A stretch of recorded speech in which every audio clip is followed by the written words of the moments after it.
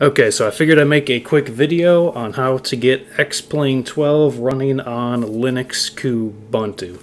So after you purchase the game through Steam and download it, what happened for me at least, you're gonna try to you're gonna click on the play button and it's gonna immediately come up with an error saying something about your Mesa drivers are not up to date.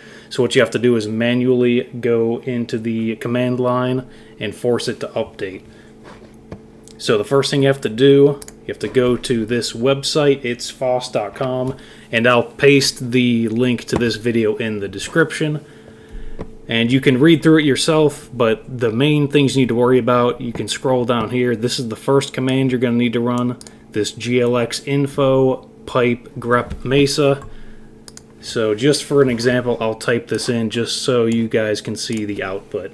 I've already done these, so we'll type it in here glx info space pipe space grep space mesa. And this command shows you that your current Mesa drivers. So since, since I already updated that, I'm already at 22.1.7. I think initially I was at 20.0 point something. And what may happen too, this may not lets you type it in, it may come up with an error saying to install Mesa, type in sudo apt install. Just type in that and you should be able to run the grep command and you'll be able to see which version you're running. So after you've done that, once you've found out that you're actually non-compliant with your Mesa driver version, you're going to scroll down here. These are the three important commands you need to know right here. And you're going to type these in to this command line just like you did the previous one. You can copy and paste them too if you want.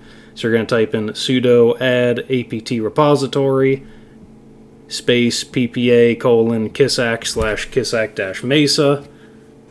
That's going to add your repository. Once that's done, you can continue on with this command sudo apt update that's going to install some things, and the last one is sudo apt upgrade. That's going to install some things also. And you're going to type those in to this command line interface just like you would normally. So that's what the issue was when I tried to play X-Plane. As soon as I install all those, I clicked the play button and it worked perfectly fine. So hopefully it should work for everyone else too. So that should be about it. Thanks for watching.